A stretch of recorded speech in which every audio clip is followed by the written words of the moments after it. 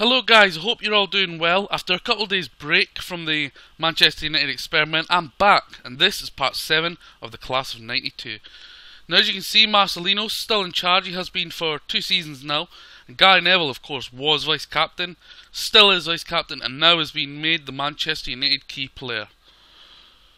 So first of all we're going to go to the transfers because another, yes another member of the class of 92 has left, he's gone and that is Paul Scholes. He's left to join Stoke at a deal worth £170,000.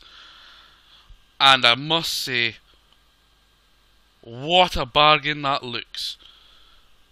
So, playing for Stoke, 37 appearances, 12 assists, 4 goals, and a 7.26 average, valued 925k. No caps for England at either level, £13,500. He's a key player in the Stoke squad, wearing the number 7, and stats are good, but he just never had to what it he needed to cut it at Manchester United. Having been punted out on loan to Bournemouth, Bristol City, Cardiff, he finally fled the field where he deserves to be playing, signed a three year contract at Stoke, and he's looking pretty decent, so we'll keep tabs of him. Now, of course, as you know, Nicky Butt left to join Newcastle in a deal for a small fee. So we're just going to check on how he's doing.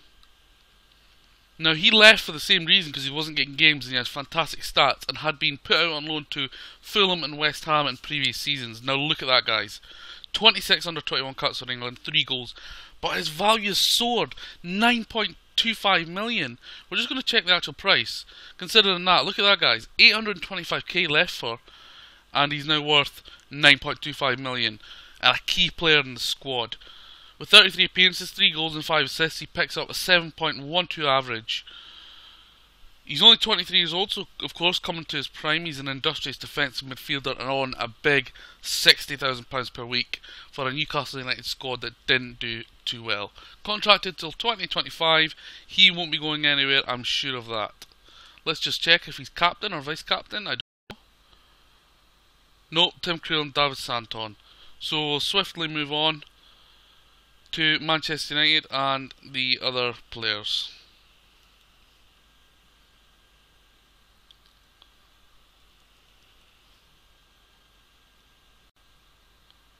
Okay, so first actually we will go to the Premier League title.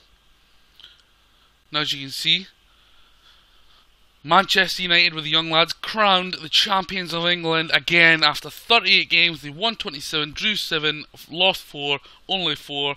84 goals scored, 33 conceded, and winning the title with a 51 goal difference and 88 points. None of the guys are in the under 21 squad, so we'll go straight to the main squad and we will show you first Gary Neville. Now, Gary Neville is unhappy, and I'll show you why.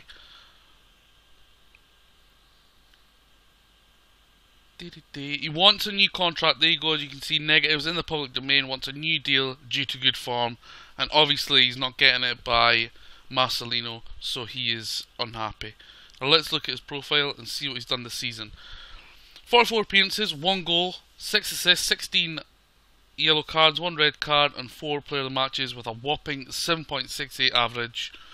And he's becoming a bit of a legend at Manchester United now. He's of course, played over 120 games for the club. He's got 16 full England caps and 18 under 21 caps and one goal. On £68,000 per week. Contract with three years remaining.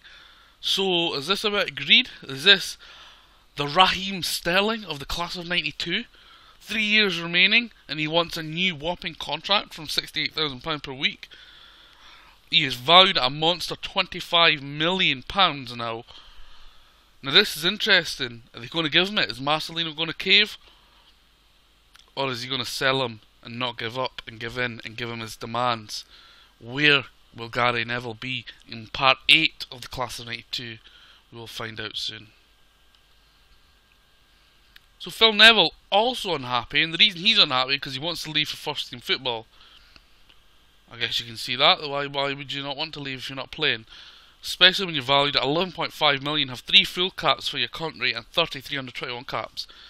But he's on a low wage of £18,500 and only on a rotational squad status.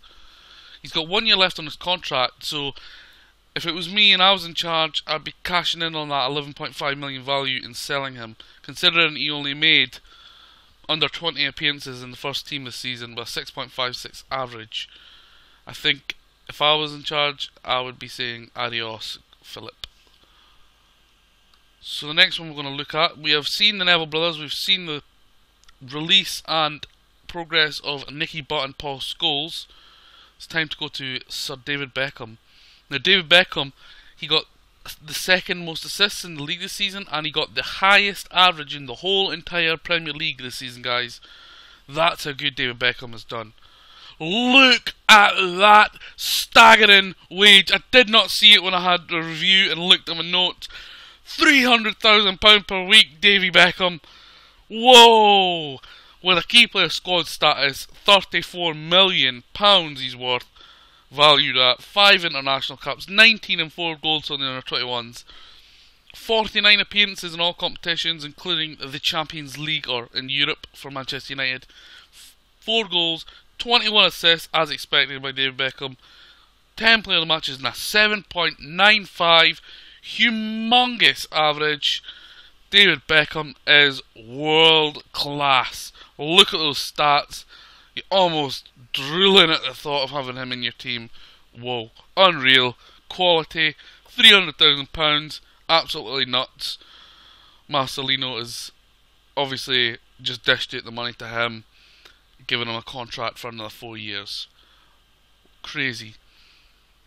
So the final one we'll look at is, of course, Mr. Ryan Giggs himself, the assistant manager of Manchester United these days. Currently injured for three to five weeks, so we'll see how he has got on. He's the only one out of the six that has never been loaned out. He's only played for Manchester United. He's got 21 caps for Wales, 8 goals, 17 and 5 for the under 21 side.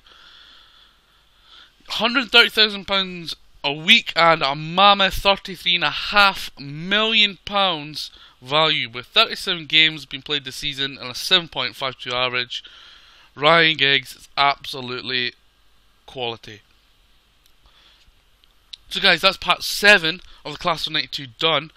It'll be very interesting regarding the Phil Neville and Gary Neville situation where both unhappy. One for not getting a new deal, one for wanting first team football. Will they get their new contract and will they get first team football? Or will they be pastors new by the time we record part 8?